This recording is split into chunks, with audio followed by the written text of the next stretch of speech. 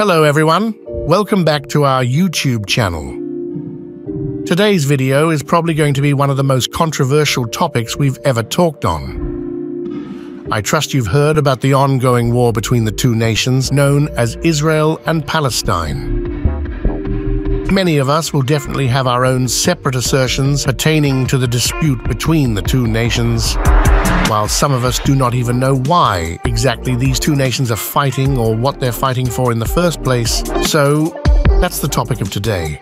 What was it that ensued to make these two nations go to war with each other?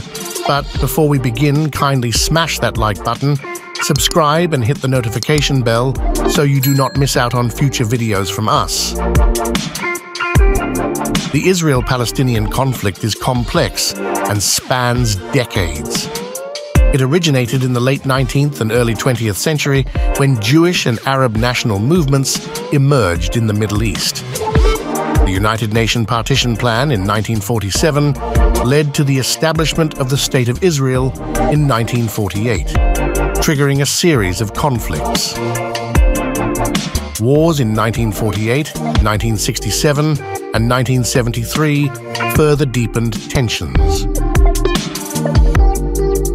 On November 29, 1947, the United Nations, UN, voted to partition the British Mandate of Palestine into a Jewish state and an Arab state. Clashes broke out almost immediately between Jews and Arabs in Palestine, beginning with the Arab ambush of a bus carrying Jewish passengers from Netanya to Jerusalem on November 30th. In 1956 came the Suez Crisis. Tensions mounted again with the rise to power of Egyptian President Gamal Abdel Nasser, a staunch pan Arab nationalist. Nasser took a hostile stance toward Israel. In 1956, Nasser nationalized the Suez Canal, a vital waterway connecting Europe and Asia that was largely owned by French and British concerns. France and Britain responded by striking a deal with Israel, whose ships were barred from using the canal and whose southern port of Eilat had been blockaded by Egypt, wherein Israel would invade Egypt. France and Britain would then intervene, ostensibly as peacemakers, and take control of the canal. In 1967, it was the Six Day War.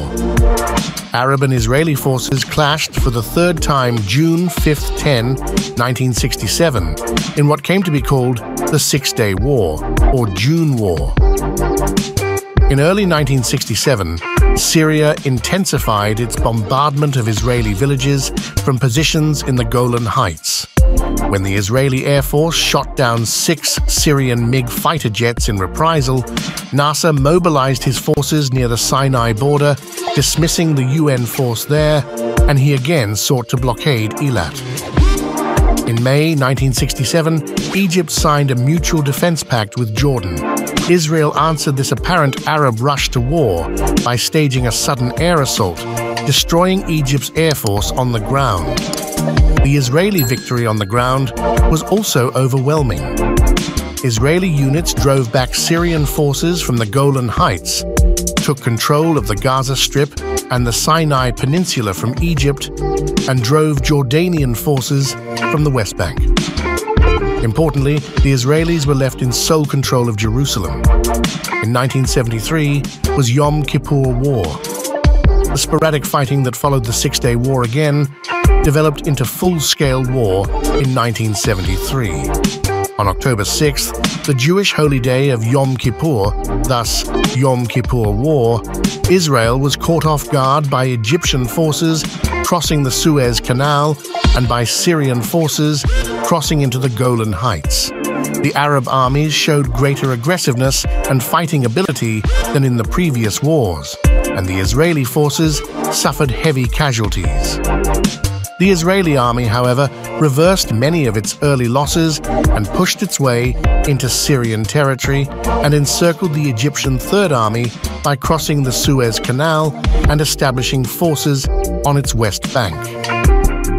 Still, it never regained the seemingly impenetrable fortifications along the Suez Canal that Egypt had destroyed in its initial successes. The issue of Palestinian refugees became apparent with millions displaced during these conflicts. The West Bank and Gaza Strip have been focal points, and the status of Jerusalem remains a contentious matter. Peace processes, including the Oslo Accords in the 1990s, aimed to address the conflict but faced challenges. Settlement construction in the West Bank, security concerns and disputes over borders persisted. Efforts for a two-state solution at this point began, but achieving lasting peace remained elusive, with ongoing violence and geopolitical complexities shaping the conflict. Figures, such as casualty numbers and economic impact, made it a fluid situation to access. The Israel-Palestinian conflict has endured for decades, marked by a series of conflicts and geopolitical complexities. But in May 2021, the first major conflict in recent time began anew. Tensions escalated when Hamas, a Palestinian militant group, launched rockets attacking Israel. This triggered the Israel-Gaza conflict, resulting in significant casualties and destruction. During the 11-day conflict, Hamas fired thousands of rockets into Israel, while Israel conducted airstrikes in Gaza. The violence resulted in civilian casualties on both sides, with international concerns about the humanitarian impact. Efforts to broker a ceasefire were eventually successful, mediated by Egypt and the United Nations. In the Gaza Strip, more than 11,000 people have been killed so far. More than a third of these victims are children.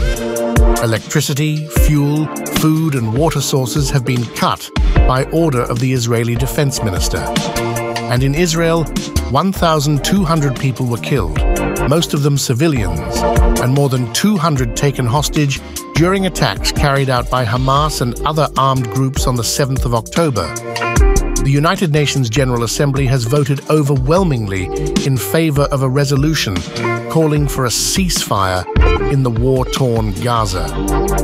The resolution passed with 153 countries voting in favor, 23 abstaining, and 10 countries voting against, including Israel and the United States. While the resolution is non-binding, it serves as an indicator of global opinion. We also join the established global opinion in a quest for peace in Israel-Gaza territories. We call for a ceasefire and give diplomacy a chance to serve its purpose of restoring peace in these regions. Human lives are too precious to be lost to such futile wars. That's all we have for today. Kindly give the video a like. And we're shooting for a thousand subscribers before the year runs out. So don't forget to subscribe to the channel also. Bye for now.